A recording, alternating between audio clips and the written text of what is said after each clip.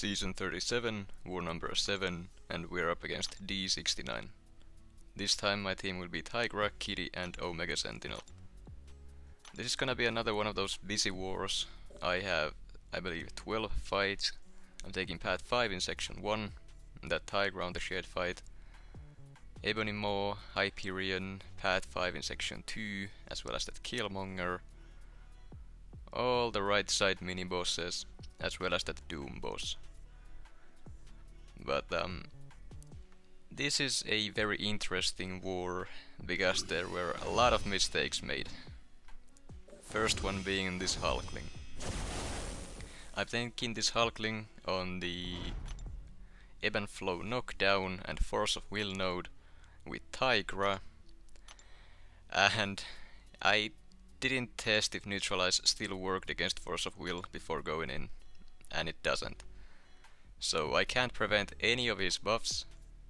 I can't keep up my senses, so I won't have my power gain or my damage for most of the fight. So um, with that regen Hulkling has as well as the protection and debuff immunity on knockdowns, this is gonna be a very long fight, if not a timeout. I definitely should have tested this before going in, but I thought it would still work, since after the fix went live, I did take down a Ebony Maw on a Force of Will node and Footloose node the same day the fix went live.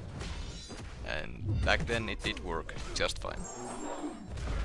But apparently it doesn't anymore, so don't do what I did, don't try to take this fight with Tigra. Luckily I did have my max boosts on here, as well as the biggest Mystic Class boosts available. So at the very least, I have a chance to take this fight down. This one is gonna be a very long war video. I had to speed up, I believe, three or four fights this war, so that it wouldn't go over 30 minutes long. But even then, we're gonna be here for a while.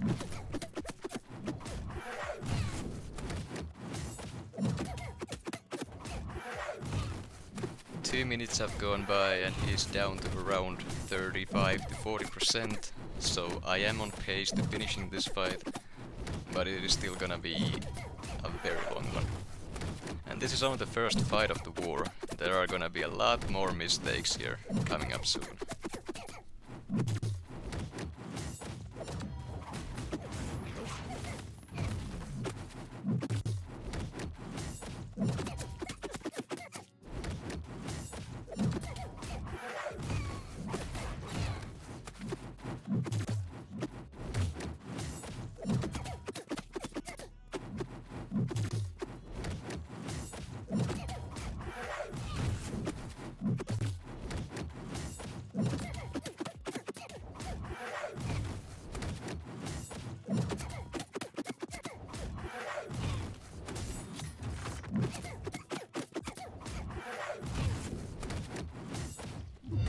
Are now approaching the final minute here, but luckily I will be able to take this fight down here. If only the neutralize still worked against Force of Will, this fight would have taken like 30 seconds at most. But hey, now we know, and at least it didn't cost me a death.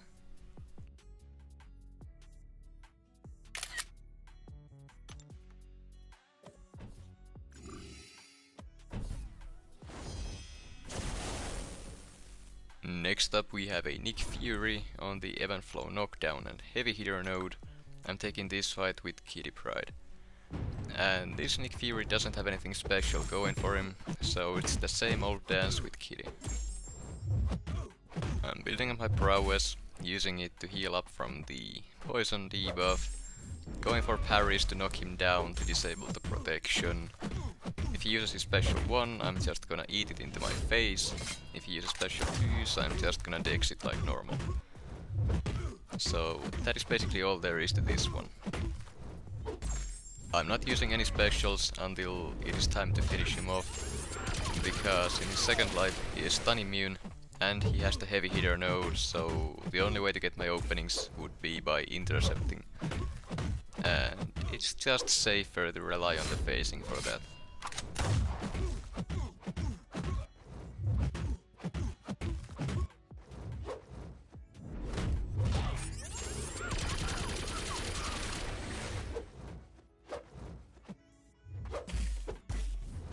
I am trying to land a parry stun here, so I can knock him down with a heavy attack to remove the protection when Nick Fury goes to his second life.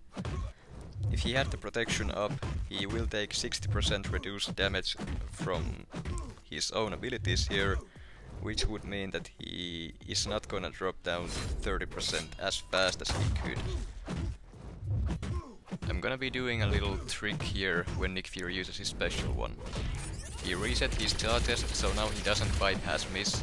That allows me to dash at him to face and go straight for a heavy attack to knock him down. That is only safe to do when the opponent is cornered and when they don't have a special ready. But if you get the opportunity, you can do that to easily knock them down. Very useful against ebb and flow knockdown, especially.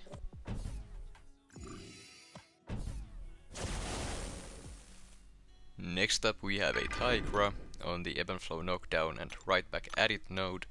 I'm taking this fight with Kitty Pryde.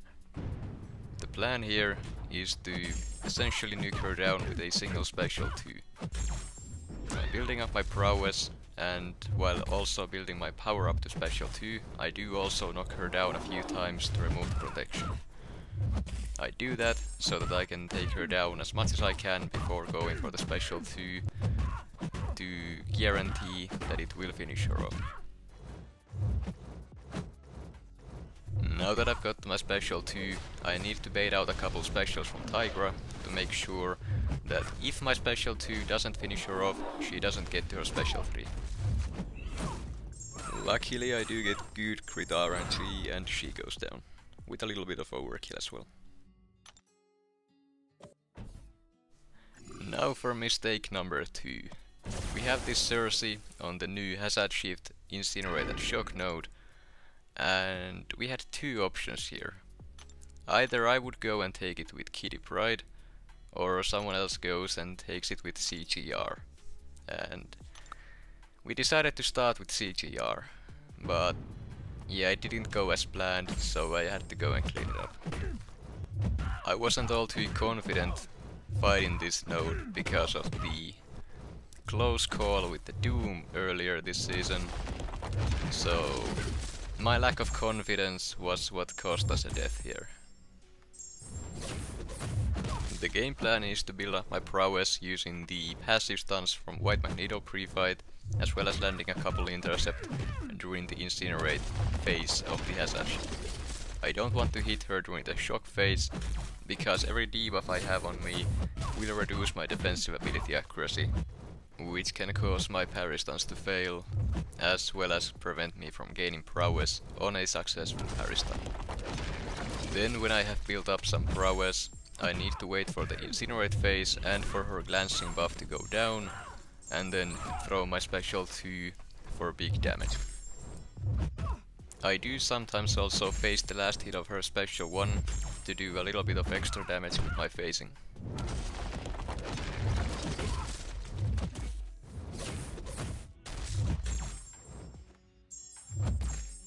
Here I am just parrying the build of my prowess to line up that last special 2, which is enough to finish the fight. Really should have just called this fight and been confident about it, it really wasn't difficult at all. But mistakes were made. And now we've come to an Ebony Maw on the Scared Stiff node. I'm taking this fight with Omega Sentinel starting with the tracking debuff mode active to be able to bypass the falter debuff. The idea here is that Omega Sentinel is immune to Nullify and she bypasses Miss, so Ebony Maw doesn't really do anything to you. Basically the only way this fight can go wrong is if you somehow push him to his special 3 by triggering Mystic Dispersion, or if you fail a dex on his special 2, which you shouldn't even be dexing anyways. That being said, I always go for the dex anyways, for some reason. I know I shouldn't, and that it is a stupid thing to do, but it's just a reflex at this point, and um, I ate a special too. Yeah, I would have survived if it didn't land during the falter, but here we are. That is death number one this season. Deathless Season is gone. As per the title of the video, mistakes were made. But now then we have a Hyperion on the Power Snack node, and I am taking this fight with Omega Sentinel. Now the idea here is that since Omega Sentinel is immune to Nullify, the Power Snack node doesn't do anything. And that essentially means this is a normal Hyperion fight. I used an invulnerability boost here, in case Hyperion did use his special 3, and I can essentially eat 3 of them but I have full recoil masteries active with Omega Sentinel who has the highest base attack rating in the game. So just by throwing normal combos this Hyperion goes down before I can eat enough special 3s to lose this fight. And apparently eating a special 3 from the opponent makes Omega Sentinel trigger her auto block, which makes her lose her armor buffs as well as trigger an incinerate debuff on the opponent. So, today I learned.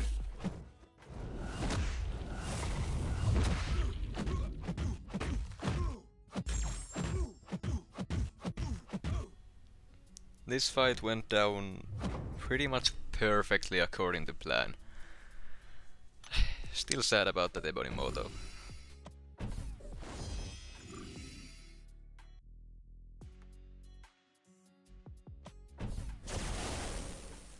Next up we have this Wong on the Ebb Flow intercept node and I'm taking this with Kitty Pryde. The idea here is to just play Kitty like you normally do, but against Wong I like to bait his special 2 instead of his special 1. Allowing him to use his special 1 makes him trigger his spells, so that is where most of the trouble comes when fighting Wong. As long as you can avoid the special 2 damage somehow, either by being able to dex the special, or facing it, or just straight up blocking it, he doesn't really do anything. Well, I do believe he still goes unstoppable if he uses his heavy attack, but other than that, there really isn't anything to worry about.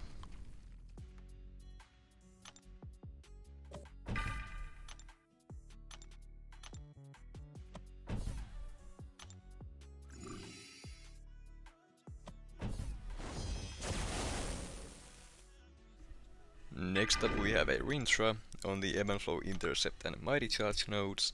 I'm taking this fight with Kitty Pryde. The plan here is to just play this like any other Rintrah. I bait his special ones, punish them with my heavy attack to knock him down, to reduce his mystical charges, and that is basically the whole fight. When it comes to Rintrah, as long as you don't let him stack up too many of those mystical charges, he really can't do anything. The only issue with him in general would be the neutralize, but if you use someone who doesn't rely on buffs, even that doesn't do anything to you. So this is a very safe and easy way to fight him, although it is a long fight with almost any champion you can use. I am gonna be speeding this fight up here because, well, like I said, this war video is probably the longest one I've had so far, even with speeding this fight up.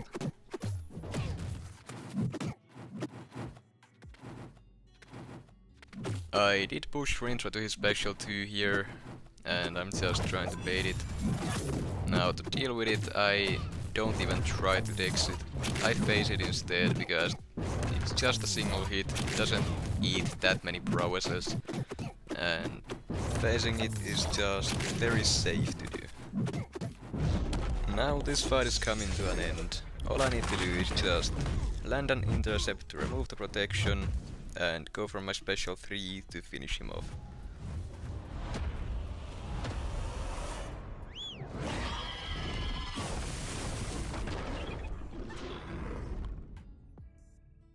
Very simple fight, but I did end up taking a lot of damage there, so I gotta use potion to heal up. This war has been very expensive on the item stash. Now we have a Killmonger on the Ebb and Flow Intercept and Mighty Charge shared fight, and I'm taking this fight with Kitty Pryde. And just to follow the theme of this video, this fight is not gonna go that well either. I used that advanced power boost here because I'm planning on using it for the next fight and I thought that this fight would go down very fast. I am also running 3 out of 3 recoil, so the plan here was to just build up some prowess, get to my special to disable the protection and then nuke him down with that single special. It did not go as planned. I messed up my phasing a few times, which left me below that 3 prowess limit, meaning I couldn't phase. And again, here I faced a hit of his special 1, which caused me to not be able to phase again by eating my prowesses. I was getting way too close to my corner, so I went ahead and threw my special 3. Now with the quick reset, I'm gonna try to build up my prowess again, get my special 2 and do what I was supposed to do the first time around.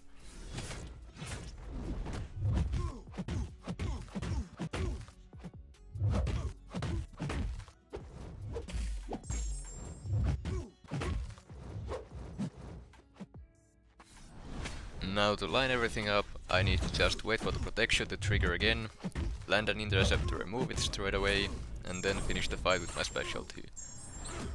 That is all I was supposed to do to begin with, but yeah, this war has not been great.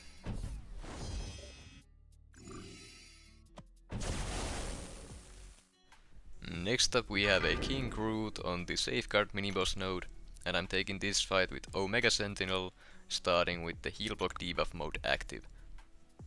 Now you've all probably seen me take this fight before, and yeah, the plan is the exact same as always. I need to get my special 3, then wait for the Furies to expire so he can't shrug off the Incinerates. Go for a double medium to trigger a heal block to deal with the Conduit region, Throw my special 3 for the 6 Incinerate debuffs. And then just finish the fight by keeping those debuffs paused by doing normal combos, finishing with my 4th light attack. The only risk of death here is if you push King Groot to his special 2. Other than that, this is a very safe fight, and a very easy one at that.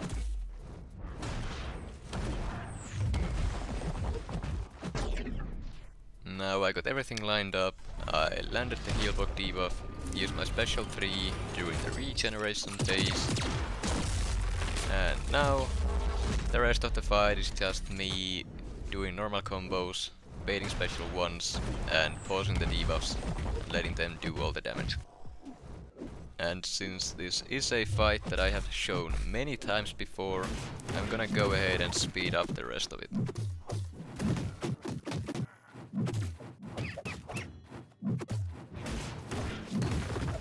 And of course, even this fight didn't go according to plan, and I dropped the debuffs at the very end.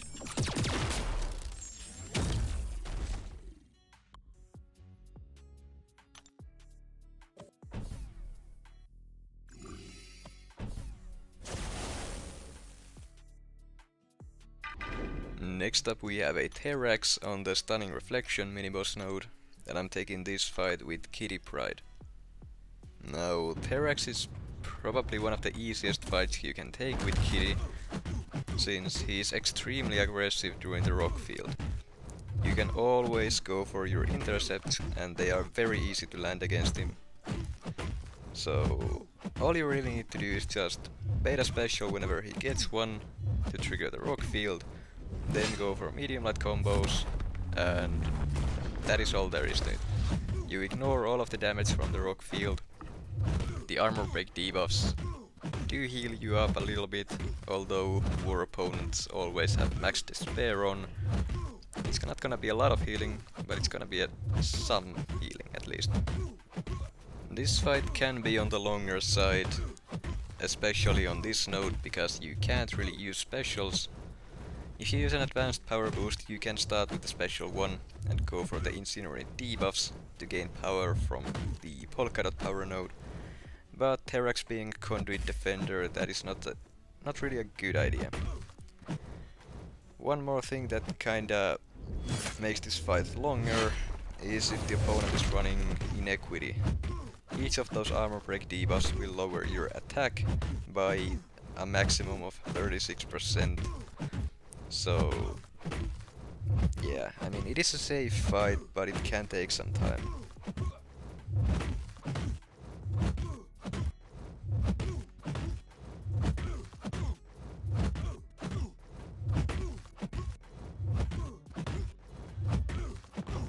So yeah, a very simple and easy fight.